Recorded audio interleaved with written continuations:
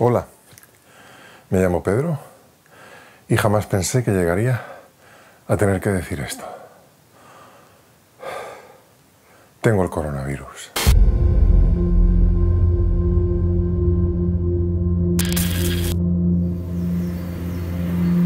La primera vez que escuché de ti parecía todo mentira, muy lejano, historias inventadas, un problema de alguien que no era yo, un problema muy lejano, hasta que te fuiste acercando poco a poco, casi imperceptiblemente. Yo no sé quién ha sido tu GPS para encontrarme, no sé quién te ha guiado, pero has llegado a mi vida, sin permiso, y te has metido en mi cuerpo, en mis entrañas.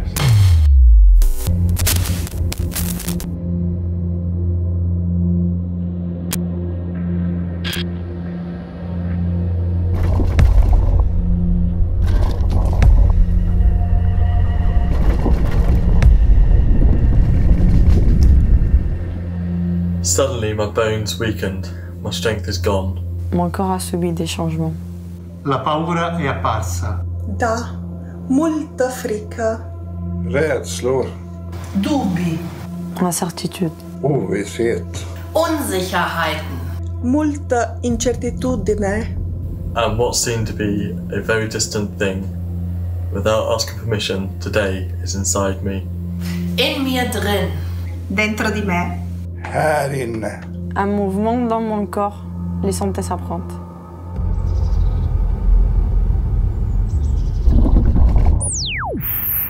Caro coronavirus, Déjame ser claro contigo. Du kan ta bort min styrka. Tu peux affaiblir mon corps. Mi potresti impaurire e terrorizzare. te rog, permitem să-ți povestesc ceva. I am not alone. io non sono sola. Ich bin nicht allein. No, porque alguien está a mi lado. Si prende cura di noi. Stödjer mig.